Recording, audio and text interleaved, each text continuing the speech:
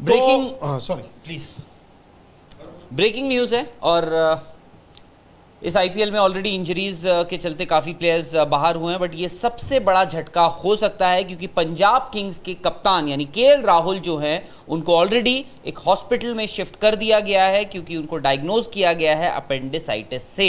और ये जो अपेंडिक्स है इसको निकाला जाएगा सर्जिकली यानी उनकी सर्जरी होगी। तो ये तय माना जाए कि इस आईपीएल से के राहुल अब बाहर हो चुके हैं और दूसरी चीज़ ये देखनी होगी कि पंजाब किंग्स को कि उनके अगले कप्तान कौन होंगे। अपेंडिसाइटिस um, uh, क्या होता है कि आपको पेन होती है उसको निकालना पड़ता है। तो uh, इनकी प्रेस रिलीज़ आई है मैं पहले फटाफट वो बोल देता हूँ uh, पंजाब की।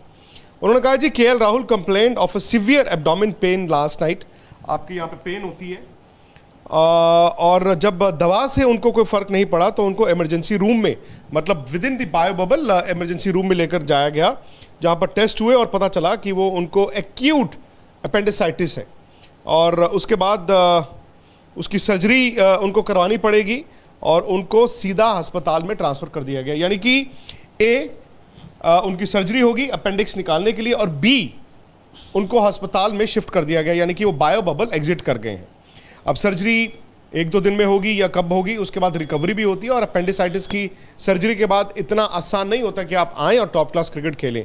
तो मुझे लगता है for all practical purposes plus जब भी वो रिकवर होंगे, पूरी तरह ठीक होंगे, उनको फिर से क्वारंटीन करके बायो बबल में आना होगा, पता नहीं पंजाब तब तक रहेगा इस टूर्नामेंट में नहीं रहेगा।